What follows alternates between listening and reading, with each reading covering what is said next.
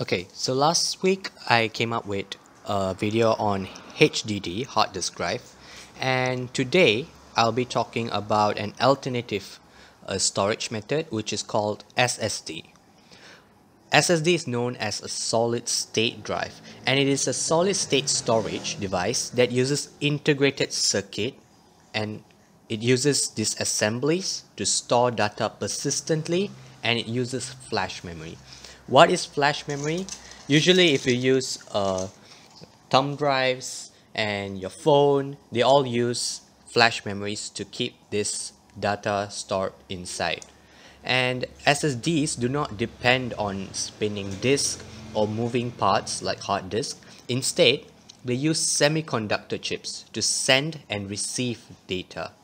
These chips are divided into pages which store the data one benefit of SSD should be immediately apparent. Since they have no moving parts, they can run at speed far above those of traditional HDDs. They're usually used in laptops these days. It can be an internal SSD or an external SSD, same with HDD. One of the benefits is that since they use less parts, uh, less moving parts, they are less likely to experience damage from vibrations, drops, accidents, and other wear and tear. So if you happen to drop an SSD, uh, you don't have to worry too much about your data being lost because they are typically more durable than HDDs. And less moving parts also mean that SSDs are much faster. In fact, it is 10 times more faster, offering an almost instant load performance. And compared to a HDD, which is uh, typically heavy, SSDs are lightweight since they use light, lightweight components, which makes them more easy to carry compared to HDDs. They also don't require as much power to operate as hard drives do, and this means that if you're using a phone with limited battery life, you will get more battery life if you use an SSD and it also means it's more efficient in storing data and receiving data. However, it also has a certain disadvantage since they use less moving parts. The disadvantages of solid state drives is that they are more expensive than hard drives of the same capacity. And due to the unique file system structure, data extraction can be extremely difficult and lengthy to process in case you crash one of these uh, devices. And because of the data recovery process, that is why they are expensive. Also, another thing is, the memory chips in an SSD have a limited number of write cycle, which means after a certain time, it can lead to unrecoverable data loss. However, you don't need to really worry about this because it uh, typically consists of a few thousand read and write cycles, if not many thousand. So it actually lasts pretty long for an average person and you don't have to worry about this much. However, if you're using your SSD for many years, it could be a problem that you should anticipate and you must always be ready to back up your data.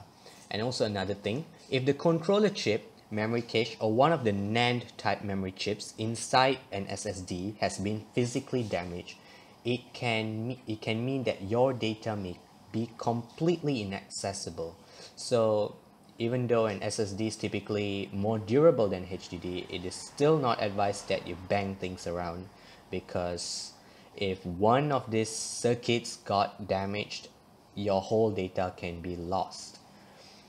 So if you're willing to take the risk, you can enjoy all the benefits of an SSD. Pe uh, typically, many people prefer an SSD over an HDD, especially gamers, since it's more powerful, it's more uh, fast and it's also more reliable in many situations. Now um, uh, previously I've also had many questions of people saying that if they can upgrade the flash memory on their phones for example if they have a 128 gig internal memory in their phone can they upgrade it physically? And the thing is phones use dedicated flash memory for storage and unlike an SSD, you can't just open it up and upgrade it.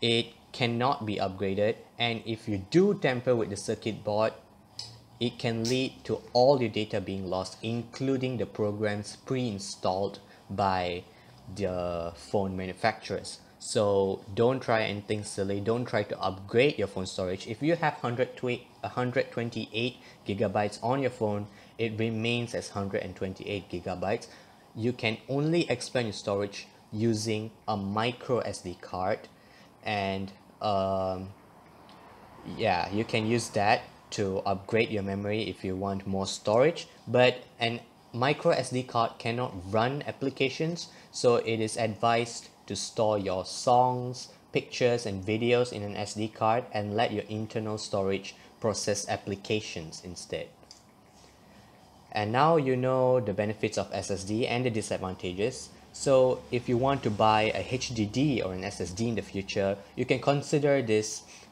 uh, advantages and disadvantages and be sure to select which one that suits you the most. Now that's all for now. If you want more on the latest tech news, please subscribe and leave a like.